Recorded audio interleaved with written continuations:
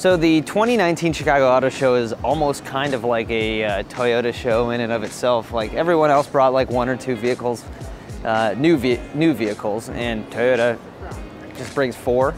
Yeah, they have brought updated TRD Pro vehicles for all of them. They've added another TRD Pro vehicle. They've added another vehicle with TRD off-road stuff. One of those is the new Toyota RAV4 TRD off-road.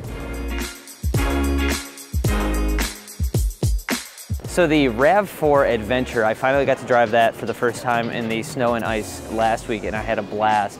The TRD off-road looks even meaner. It kind of looks, it looks a lot like the Adventure. Yeah, and it is very similar to the Adventure. It's got the same ground clearance. The main changes are the suspension has been retuned and they say it's inspired by Millen's uh, Rally Toyota RAV4. And he's actually been very competitive with his off-road Rally RAV4. So we're curious to see what this will be like. Um, it's just inspired by suspension, so it's not the suspension. So yeah, we'll see. We'll see how it goes.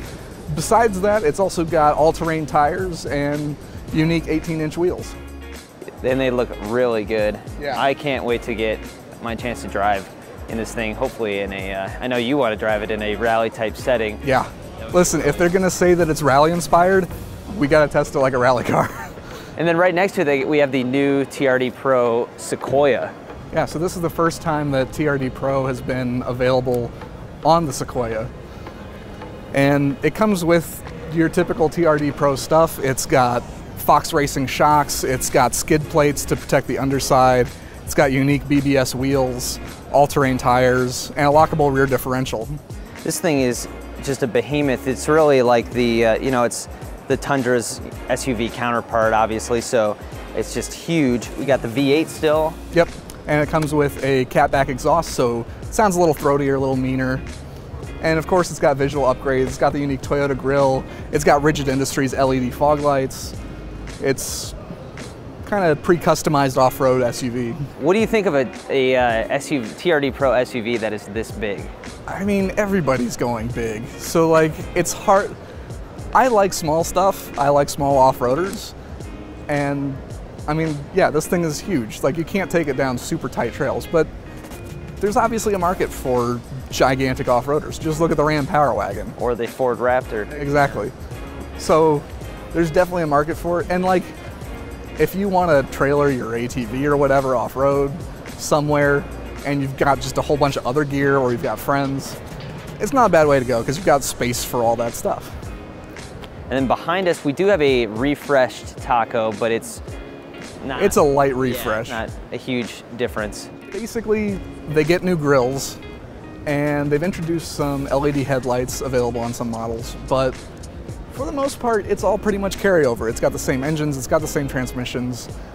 Uh, TRD Pro is still kind of the same thing. There are a couple small upgrades. You can now get it with Apple CarPlay and Android Auto compatibility. Brought themselves up to 2016 standards. Yeah, and actually those features are also available on the Sequoia TRD Pro. Okay. The other thing is, is that the TRD Pro model for this, you can get these like surround view cameras so you can see everything around you. It's really handy off-road. Yeah, you can even see underneath you with those cameras, which is Yeah, it's got a camera like that points down so you can kind of see what's ahead of you as you're coming up over a hill or something. And then finally, we have way over there the Land Cruiser, so let's go check that out. The uh, Toyota Land Cruiser is celebrating its 60th anniversary, which is like one of the oldest models still to be around. And so there's a Heritage Edition.